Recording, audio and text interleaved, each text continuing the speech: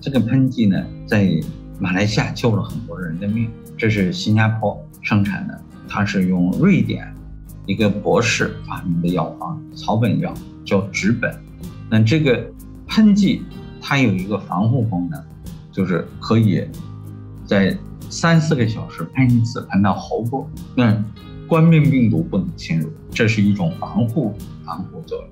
如果你你们中间，我听说有些老公、有些亲友已经得了，OK，他可以在两天到三天之内使你的阳性转阴性，就是你得了，它可以在两三天之内使你完全就没有症状，不是，并且这个检测的时候没有了。那么我用了以后，效果特别神奇。这个有的时候你感冒喉咙不舒服。喷三下，不需要喷多，喷三下，立马就没有了。这个喉咙疼、干这些症状啊，现在是很缺。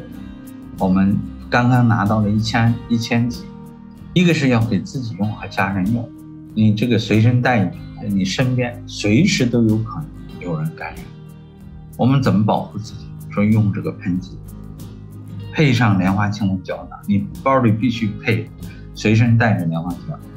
这个自己感觉鼻干、咽喉干不舒服，立马吃，心着得救。所以说，接下来我们要与疫情共存，怎么样才在共存的前提下不得病？要用保护的东西啊，这是我劝劝大家，疫苗必须要打的。莲花清瘟胶呢，必须要带的，喷剂必须要带的。这个除了我们自己用，家人用，包括你的孩子上学什么都需要。隔三四个小时喷到喉咙，我会说一定要不是喷在牙齿，喷在喉咙喷三下。啊，三四个小时，只要你不睡觉，喷一次，一天也喷三次。我们最好不会感染，这第二，感染的立马把它转掉。转到没有症状，这是两三天。